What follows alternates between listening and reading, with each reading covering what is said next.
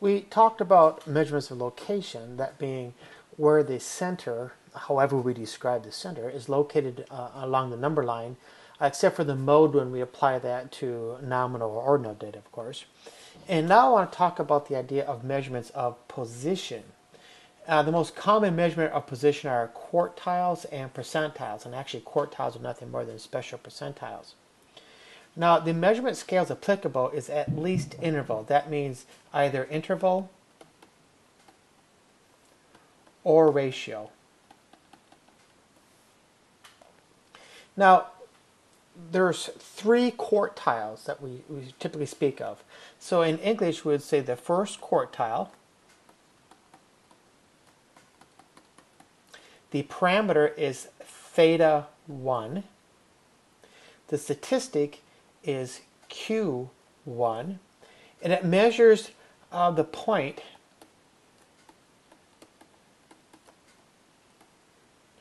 where no more than 20, whoops, 25%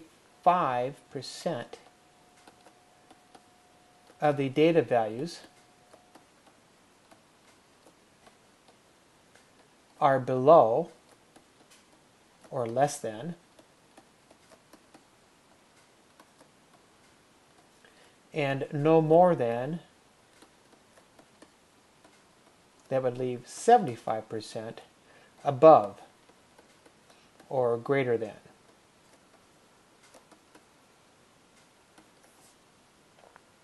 Now the next quartile, we don't actually call it the second quartile. Technically it is,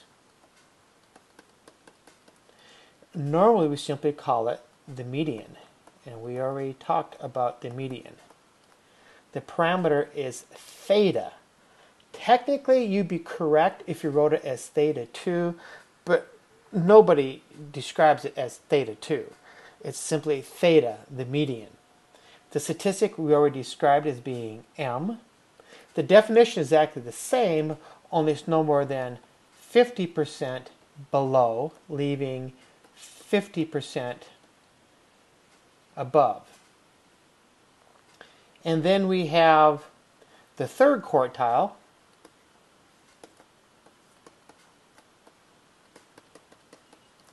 and the parameter is theta 3, and the statistic is Q3, and the definition is the same, except for now we'll have 75% below, leaving 25% above. Now the idea behind quartiles is quartiles divides the data into quarters.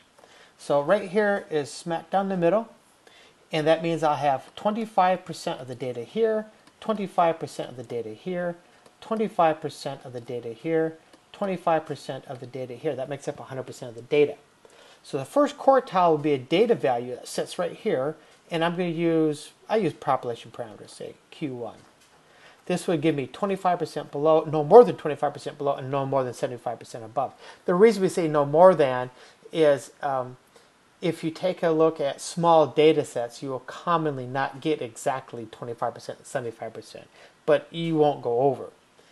And then down the middle here, this is theta. That gives me 50% below, 50 above. And then, of course, theta 3. If I was dealing with sample statistics, then of course I'd be dealing with um, Q1, M, and Q3. Now combined, there are five numbers here. There would be a minimum value down here, a maximum value up here, and combine the minimum, the first quartile, the median, the third quartile, and the maximum make up what's known as the five number summary. It's a way of numerically summarizing your data. Now what we most commonly use the five number summary for is to create what is known as a box and whisker plot. Now a box and whisker plot, um, well first of all, we'll consider the same exam data that we've looked at before. We've, we've done a bunch of this before. We've created histograms and um, frequency distribution tables with it here are the summary statistics from TC Stats. And I got the minimum, Q1, the median, Q3, and the maximum.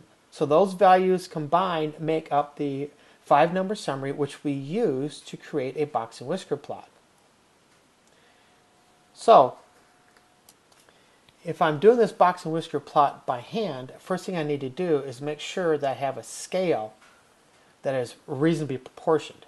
So I will go with say 10, 20, 30, 40, 50, 60, 70, 80, 90, and a little bit more, 100.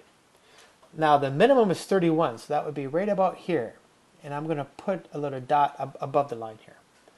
Q1 is 70, which is up here. The median is 77, which would be you know, right in here somewhere. And then Q3 is 86, that would be 85, so right about there is 86. And the max is 98, what would be about there.